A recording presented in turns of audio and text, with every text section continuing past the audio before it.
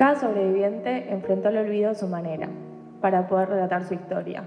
Pero lo fundamental es que cada uno de nosotros, al oírla, nos convirtamos en nuevos aprendices de esa historia, de esa vida.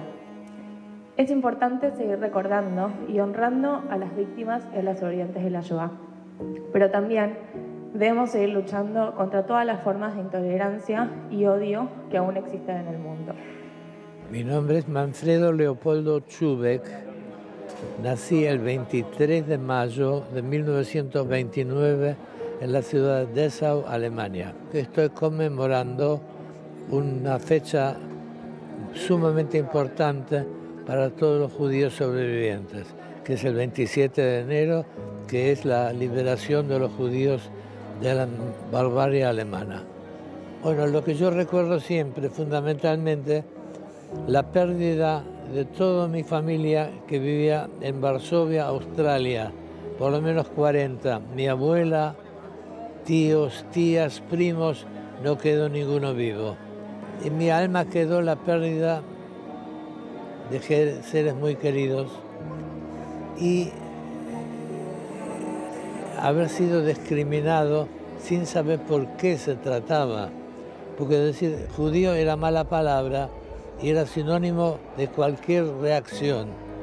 Para un chico eso es memorable y no se olvida nunca. Soy Mónica Davidovich, soy sobreviviente. Yo nací en el gueto. Mi madre entró al gueto embarazada de mí y nací en el sótano de la casa donde vivíamos hacinados tres familias. Surcos que me han fortalecido eh, y que me hicieron la mujer que soy.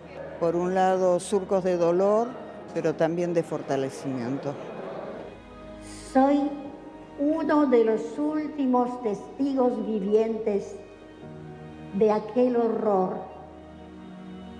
Soy el último de los testigos que estuve luchando durante dos largos años, todos los días, por sobrevivir.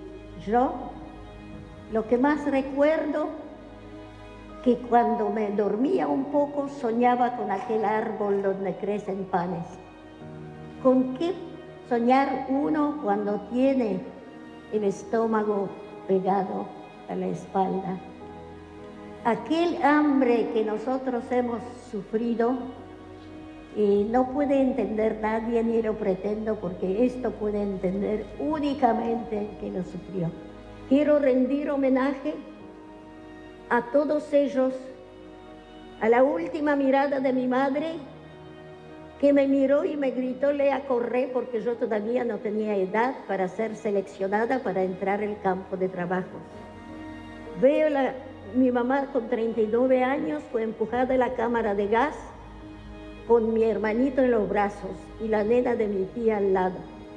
Les exijo que es vuestra obligación moral, gente joven, de no olvidar, de seguir dando testimonios, de seguir contando y de luchar en contra la discriminación contra toda clase de discriminación para, para que esto no se vuelva a repetir.